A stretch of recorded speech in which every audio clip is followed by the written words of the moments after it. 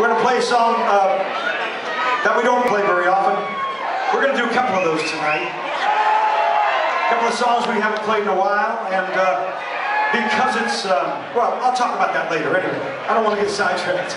Right now we're going to do a song uh, that's a cool, nice little groove to it from the In Rock We Trust Records.